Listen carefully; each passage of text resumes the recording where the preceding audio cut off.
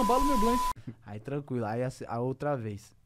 A outra vez, tipo, eu era meio doido, sabe? Eu não, eu não, eu, às vezes eu, eu não, não entendia a minha situação, não entendia o que eu tava, o que a gente passava e queria sempre uma vida diferente, sabe? Eu, eu queria, tipo, que a minha mãe me desse mesada, porque eu não entendia porque Macaulay Culkin tinha uma casa daquela.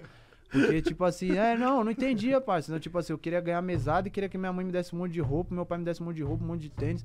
Tipo, e eu não aceitava. E tipo, e eu pedia, ó, pra você ver, eu, que, eu, que eu lembro que eu ganhei do meu pai, mano. Além do, do, da, da, do essencial, que é a casa e o alimento, né? Ligado? E, e uma família.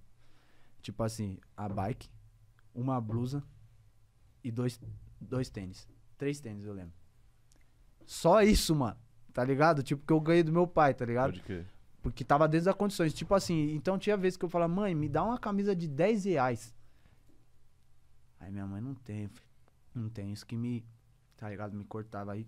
Tanto que tem uma época da minha vida que eu consegui presentear minha mãe, tá ligado? Que eu já consegui ajudar minha família antes mesmo, tipo, de, de eu ter uma condição que eu tenho hoje, tá Pode ligado? crer. que eu vou contar também. Então, pique, eu não aceitava.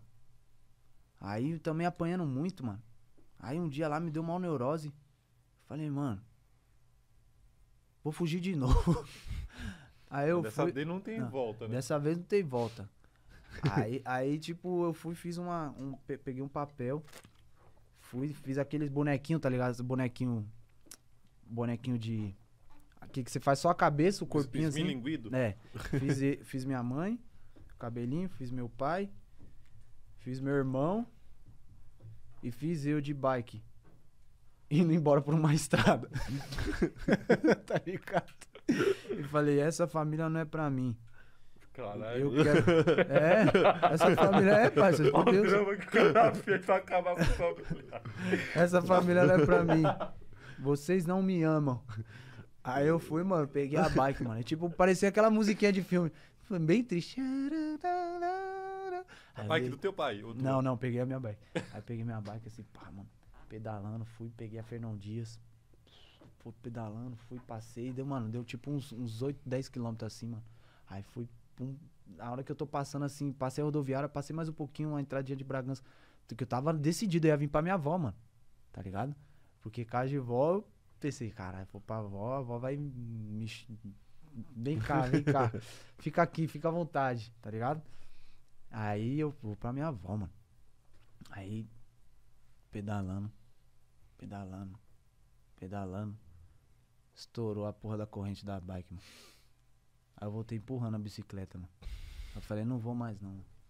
Não pra me fugir não, mano. Aí eu voltei empurrando a bicicleta. Não voltei pra casa, fui e deitei no banco da praça. Aquela música, dormi na praça, pensando na minha família. Essa música. Aí eu dormi no banco da praça assim, pá. Aí daqui a pouco escutei.